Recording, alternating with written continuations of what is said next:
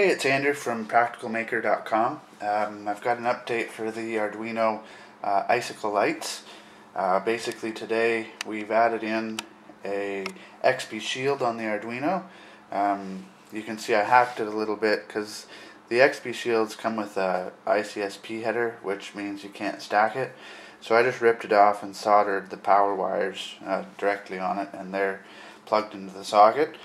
And there's also an XBee Explorer uh, from SparkFun. So basically now I can control almost every aspect of the uh, lights right now. So there's power levels. Um, so I'm just going to say the commands out instead of panning the camera up. So Z starts the command. Uh, M is for power level. 1 is power level 1 which is 25%. Set that with X and get out of that with Y and you can see they dimmed quite a bit. Uh, you can also set the color of these. So if I want to change it to blue, we will go to uh, G. So Z to get into the commands, uh, G for blue, uh, 9 for power level 9, which is uh, 9 times 200, so it'll give 1800 uh, X to get out of that, Y to get out of that. And you can see the colors have changed. And basically any each of the two colors so there's two colors red green blue for the first one red green blue for the second one. And you can set each of those colors individually as well as the power level so if I want to do sequence 1 as uh, red and green, that would be uh, Z for um, get into the command, and then E for sequence 1 red, 9 for power level 9, X to set that, 9 to set that. And, uh,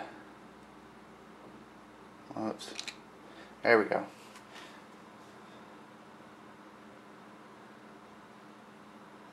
and then you can see it's changed again. So basically, with a bunch of playing around, it'll be easier through the web interface. Um, I won't have to remember which commands to type.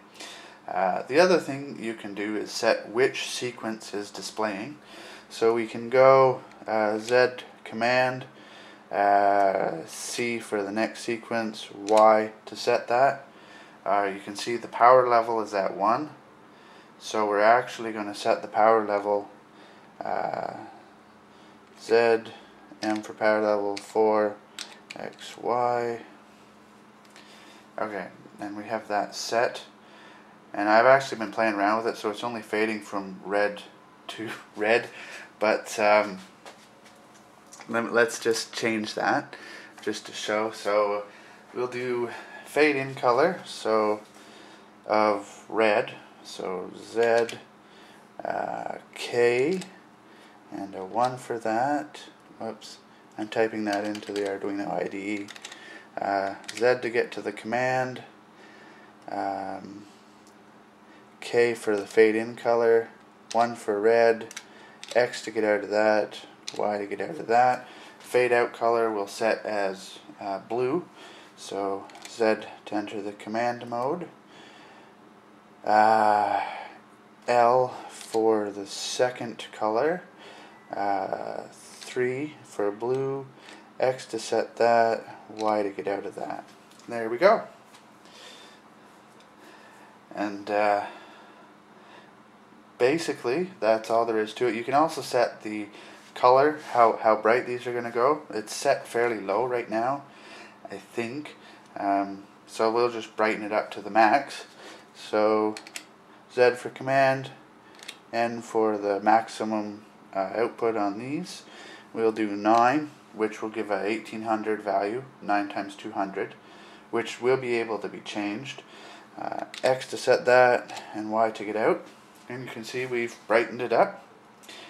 Um, also, the power, see, the color maximum uh, is goes from 0 to 9 so that would be 0 to 1800 for a PWM value. the power levels are based off of that. So if you find it's really dull, you need to set the, the maximum power uh, a little higher. Uh, so we're actually just going to go and do the last um, sequence. So Z, D, Y. And basically that sets them all to one, uh, that they all fade from one color to another. And uh, you can actually change, by changing the one uh, fade out color, to let's change the fade out color to, to 2, which is green. So we'll go Z, K, 2, X, Y. And then when this gets through, uh, they'll start fading in from red to green, which is a bit more Christmassy, but uh, whatever.